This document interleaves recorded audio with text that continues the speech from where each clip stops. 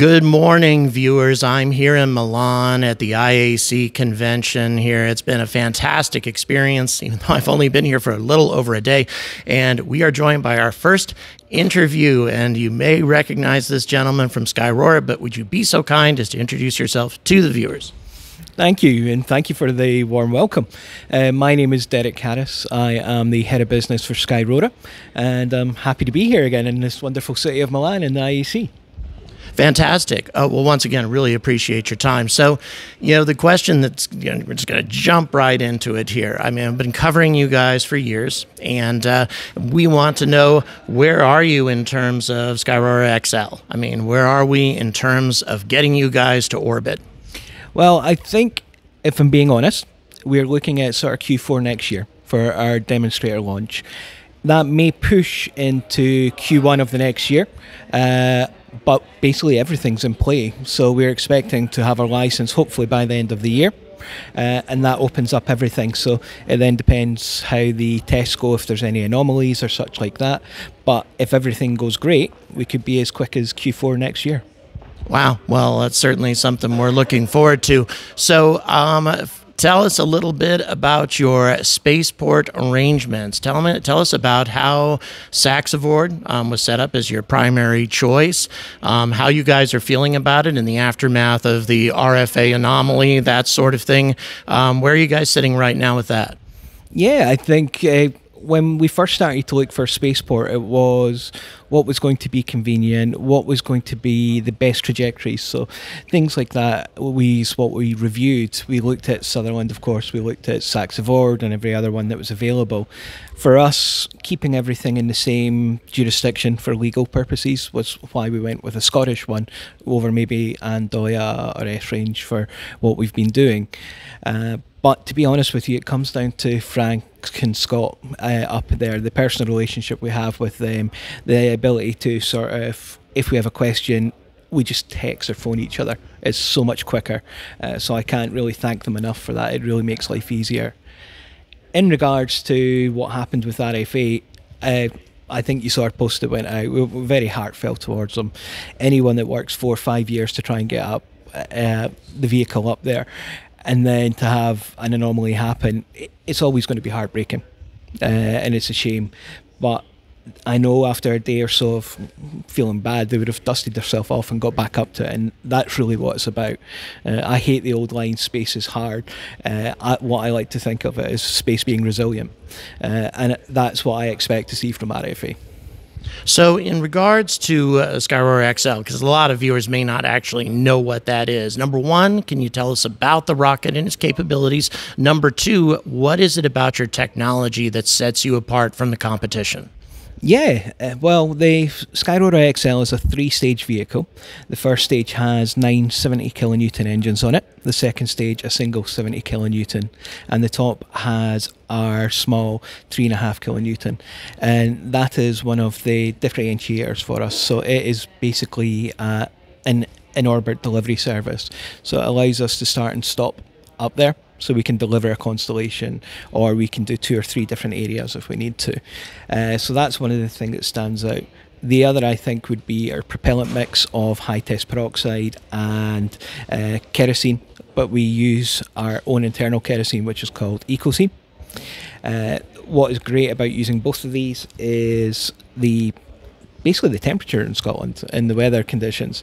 If you're using cryogenics and have to shut down, there's a lot of more work that goes into it than having a vehicle filled with kerosene and peroxide because it can stay out there. It can stay there for three hours, three months, whatever needs to happen. So for launching from a Scottish environment, it's actually quite useful.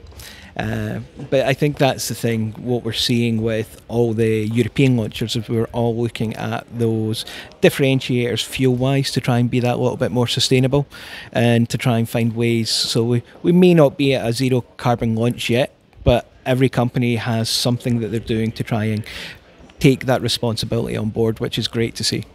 Now, space sustainability is a huge thing with the UK Space Agency, which, of course, is one of your backers. Uh, what is Skyrora doing to help with that to make sure that we are not adding significantly more to low Earth orbit than we already are? Yeah, well, I think the big thing that started off as well would have been the sustainable space uh, roadmap for Scotland, and that came through Optimat and Astro Agency, and that basically brought all the companies together. So Skyrora, uh, Spire, Clyde Space. Uh, Trading space, all the sort of space uh, people in Scotland, and they fed into it. They took experience out of funnily enough, being Scotland, the whisky sector, and how to be a bit more sustainable and responsible. And that was why the roadmap was developed. And why what we're doing along with that is obviously taking part in that. Uh, the, we're doing the easy things first, as you would expect. So trying to keep our supply chain down to zero carbon as near as possible.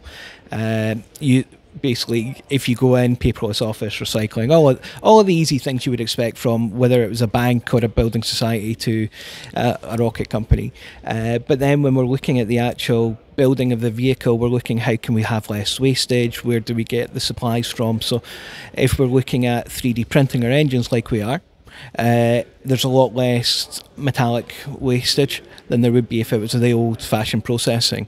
So things like that, and we're trying to build it in through design rather than sort of retrospectively do it. And so it's, it's coming along. So every every day there seems to be a slight thing that we can do better, and that then gets added into our uh, sustainability plans.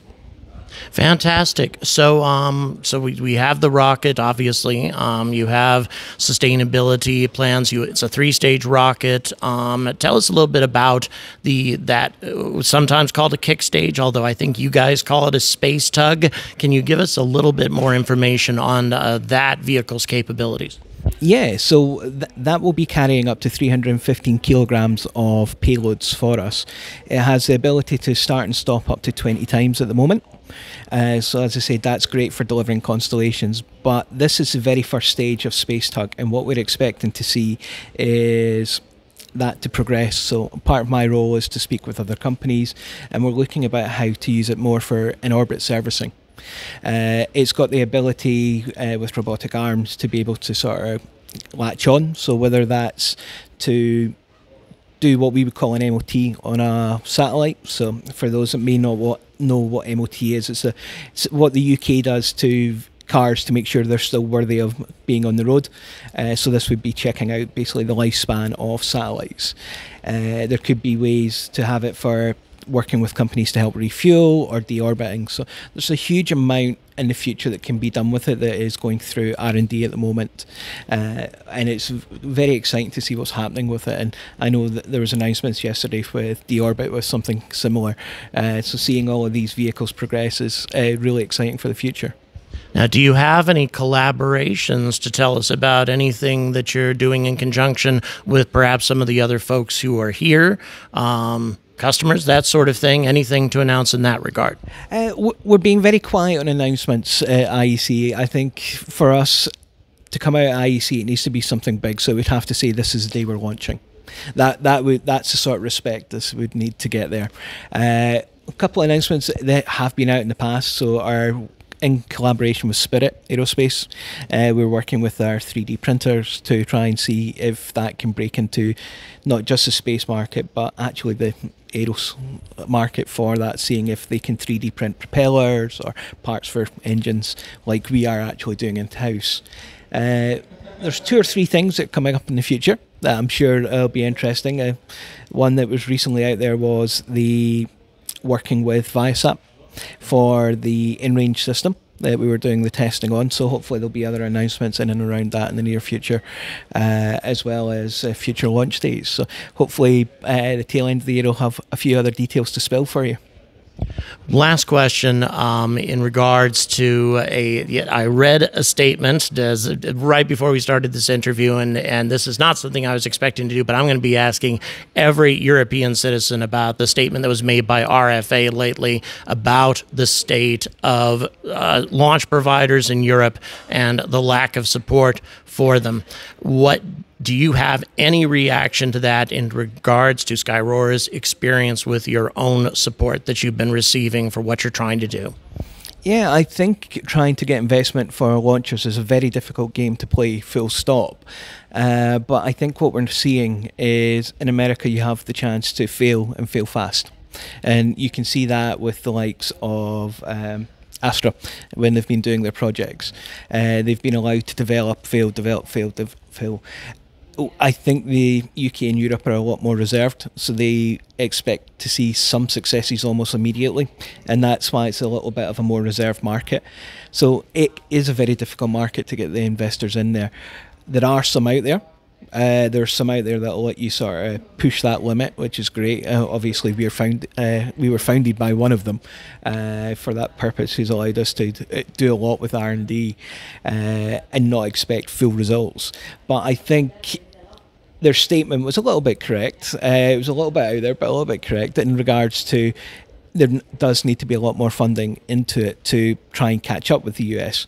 Uh, you, I don't think you'll ever see a European launcher in the near future, sort of landing like SpaceX does. Uh, that takes a lot of development and a lot of sort of experience and a lot of money. Uh, however, I think we also have a different set of capabilities over here. We have a different mindset towards engineering as well, and I hope that can sort of counteract that a little bit. As I said, we've been quite frugal with how we spent our funding and still got quite far ahead. I know the the other teams at RFA, ISAR, and, and such have done the same. Uh, so money is a big differentiator, but I think if we use it wisely enough, it'll take us a while to catch up. But yeah, but I do think we can get there. But we do need some more investors that are maybe open to a bit more risk. Okay, I lied. I had one, actually, one more question uh, in relation to what you just said, and something I've been wondering about a lot when we're talking about European launch providers. How in the world are you guys accomplishing what you do and the development that you're making, not just you, people like RFA and others, with so little money? I mean, we're talking tens of millions of euros here, not billions of euros. How do you do it? I think it comes down to the mentality of things. Uh, I can speak for the Scottish, and obviously for ourselves. We have the the mentality of having the UK way of doing things to try and find better and cheaper ways of doing it, making it easier, making it quicker. Lord knows if there's a process that takes five hours, let's figure a way to do it within two and get to the pub. Uh, I'm not going to lie on that one, but uh, there there's so many things. So taking a look at what did help out with Rocket Lab and SpaceX at the beginning with the modular approach, the containers, you see that now with most of us. Uh, so th- there's little things like that, and it's just saying, well I think one of the biggest ones is you look at buying components in. If you buy space grade components, they, they could be 10, 15,000 a box for, say, nuts and bolts. But then when you look at the actual health and safety rating on them, they go through less requirements than the automotive, which is £500 a box. Uh, so it's it's looking at things like this, bringing in suppliers who actually do what it does and needs to do, but making them aware actually you're a space company now as well. You don't just do things for cars, uh, and I think that's what you're seeing. And this is why instead of being billions and billions, we've managed to keep it down to the millions that we have done so far. Well, it's been a great pleasure following you for the all these years. Looking forward to you guys getting off the ground. Thank you so much for your time. Great to see you.